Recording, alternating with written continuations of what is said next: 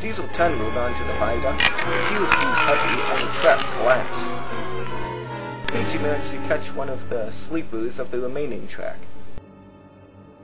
But it broke off. Then what happened? He landed in a barge of sludge at the bottom.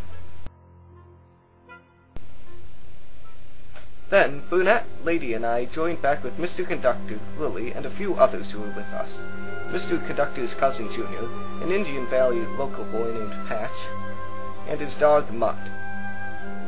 Once we did, we managed to figure out how to make more gold dust.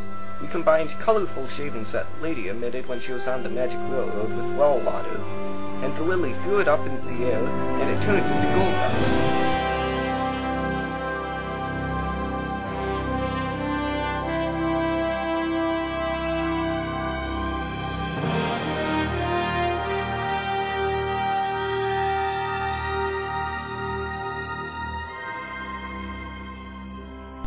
Thus, Diesel 10 was defeated, Lady the Lost Engine was found, and the gold dust was replenished. I'm glad the gold dust was replenished and that Lady was found. And especially that Diesel 10 was defeated. By now, Toby's tanks were full and the turntable was set.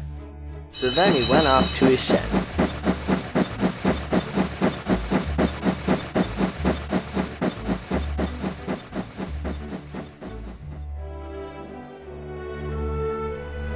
The next day, everything went well. The trains weren't late, there were no accidents, and Diesel, Arry, and Bert remained well behaved.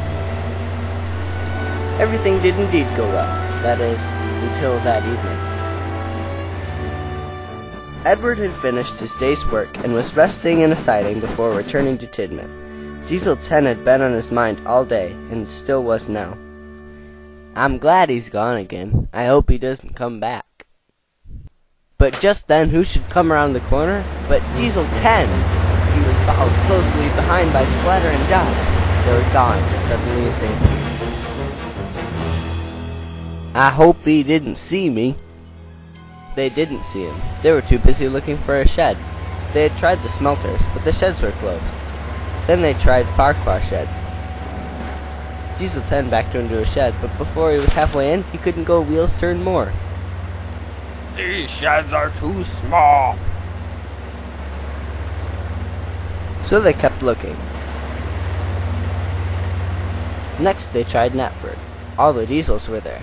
Diesel 10 had heard that some of the diesels were friendly to steam engines.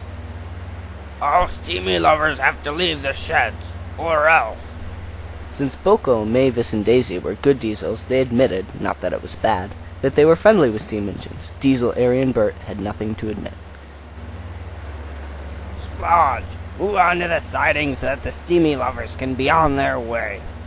Uh, boss, it's, uh, Splatter. A- and Dodge. We've been through this before. I don't have time for both names. Now, both of you get onto a siding each so the steamy lovers only have one way to go. Away. Yes, sir. And watch out. The sidings don't have buffers.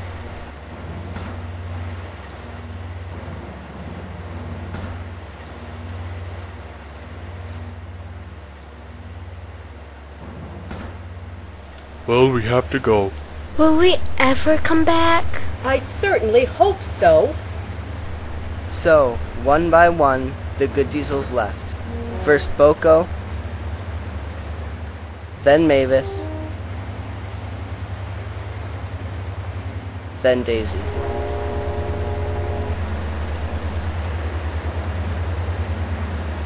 And Diesel 10, Splatter, and Dodge moved into their sheds. So, let's get acquainted. I'm Diesel 10, and these are my sidekicks. I'm Splatter. Uh, I'm Dodge. And you other three are? I'm Diesel. I'm Arry. And I'm Bert. Hmm, Bert and Arry. I'll call you Barry for short. The names I have to say are increasing as they are. Diesel, you can say Diesel. So the introductions were complete. Meanwhile, the other diesels had to find places to stay. BoCo stayed on a siding. Mavis slept at Farquhar.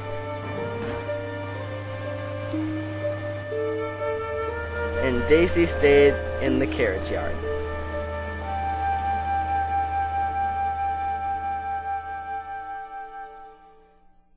While they were searching, Edward had arrived back at Tidmouth. Toby was there again. Edward was about to tell him what he had seen when Sir Topham Hatt drove up in his car.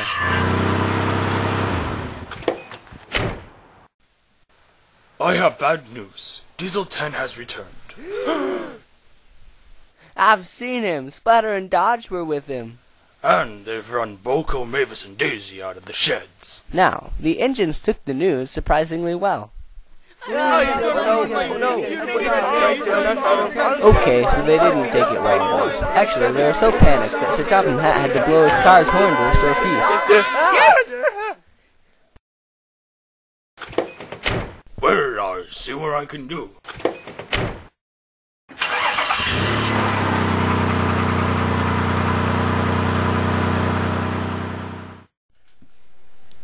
The engines were very quiet after Sir Topham Hatt left. No one knew what to do. Any ideas? Well, I'd better go and investigate this matter, since I missed BoCo, Daisy, and Mavis being run out, and there might be more that we should know that we don't know. Yet. Meanwhile, at Knapford, Diesel 10 was plotting. Diesel, Arry, and Bert had told him about the steam engines living at Tidmouth Sheds, and how much better their accommodations were than theirs. I have an idea.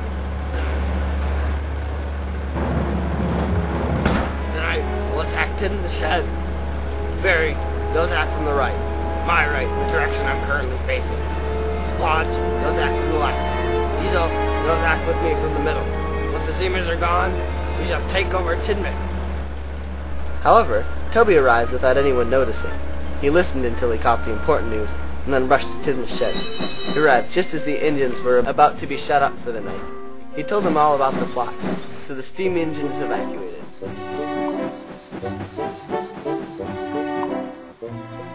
Thomas slept at Farquhar with Mavis.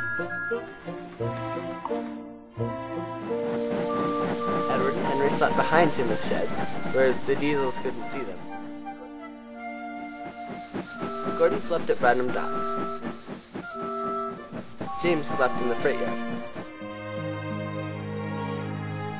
Percy stayed at Tidmouth Sheds. He decided that with his shed being the last going from left to right, perhaps the diesels would overlook it. By the time all the steam engines had been settled, the diesels had left Knapford and were rushing toward For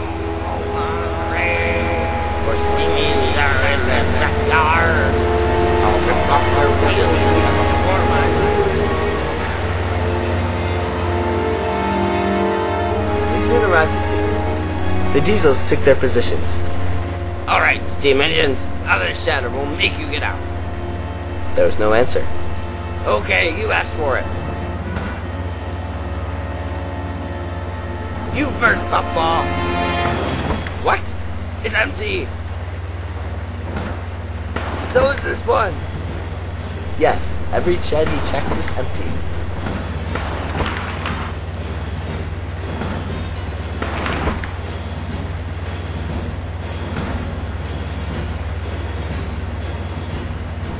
No. Why bother? All the other sheds are empty. Why shouldn't this one be empty? We'll try again tomorrow. And disappointed, they left. The next day, Edward brought workmen to repair the doors. The diesels tried again that night, but the sheds were empty then too. Once again, the doors were repaired. Then, that night, Percy decided he should stop taking chances and left the shed to join Mavis and Thomas at Farquhar.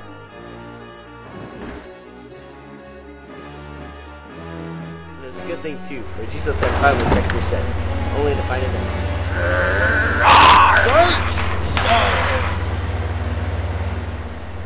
Then the diesels returned to the shed. I've come to a conclusion. Since we can't catch the seamies at night, we'll catch them during the day, starting tomorrow. Until then, I'm going to shed.